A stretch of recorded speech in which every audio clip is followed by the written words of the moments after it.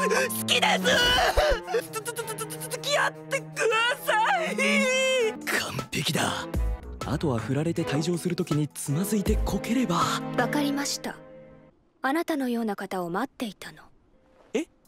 Meus amigos, depois de começar a sua vida escolar, tudo que o nosso querido protagonista Sid desejava era ser um personagem de fundo, vulgo mob. Nos últimos sete meses de sua carreira estudantil, ele estava conseguindo se misturar muito bem no meio dos estudantes normais, e no meio disso o dia do julgamento chegou. Os três fizeram um trato de que quem tirasse a pior nota na prova do dia anterior deveria declarar seu amor para a garota mais popular da escola e sofrer uma rejeição brutal. Porém, no momento em que Sid se declarou para a princesa Alexia, a garota inesperadamente aceitou a sua confissão. No dia seguinte, ela se junta ao almoço com seu cônjuge e lhe diz para que ele participe da mesma aula de esgrima que ela na próxima educação física. Sid fica relutante quanto a isso, mas acaba não vendo escolha a não ser aceitar o convite da princesa.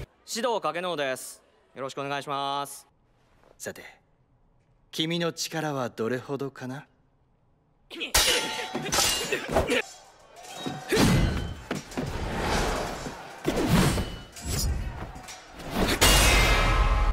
初めは僕に合わせているのかと思ったけど違った。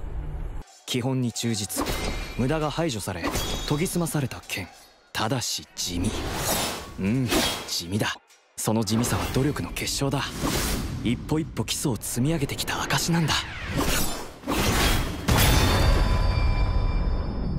Após o final do duelo prático, Sid descobre que a princesa só aceitou a sua declaração para poder fugir do seu instrutor, que é um candidato a ser seu noivo. Mais tarde, em uma fonte, o protagonista diz que não quer chamar mais atenção por causa do seu esquema de noivado. Porém, a princesa avisa que sabe que ele só se declarou para ela porque havia perdido uma aposta. Mesmo assim, ele ainda continua se recusando de participar. Por causa disso, ela é forçada a usar o maior atributo da realeza.